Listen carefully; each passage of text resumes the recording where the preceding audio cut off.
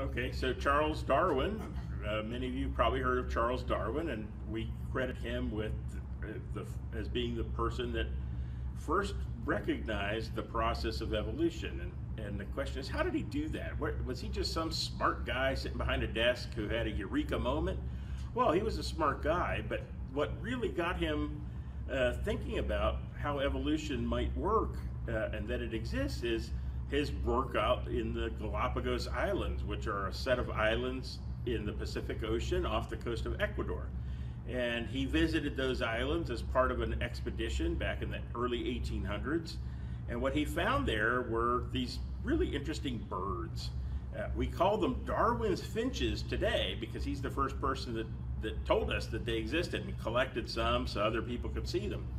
Uh, but these birds, some of them are really large, some of them are really small. The large ones tend to have very big bills, very big, sharp bills, and the small ones have these tiny little thin bills. And those are just the extreme examples. There are different sizes and shapes of bills among all these different species. And when he was out there, he studied these birds quite intensively for quite a while. And what he was able to observe was that the birds that have these giant bills, kind of like a nutcracker that somebody might use to open a, a, a hard nutshell, that's exactly what the birds do. They crack open these very hard seeds to get to the inside where the nutritious part is. Uh, the little tiny birds with the tiny little bills, they obviously could never do that, but they eat tiny seeds like grass seeds, which are super tiny.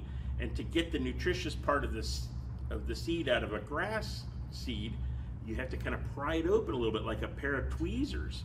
And he observed those birds doing that. And what he was able to deduce or conclude from that was well, these birds have evolved to become specialized on different kinds of seeds. And part of what uh, part of the advantage of that is the birds that have the large bills eat the large seeds and they don't ever eat small seeds and the little birds that eat the small seeds, specialized eat them. They never eat large seeds, so they live together happily. They eat different things, but their biology, their ecology, their morphology, the shape of their bills and so on is all connected in that.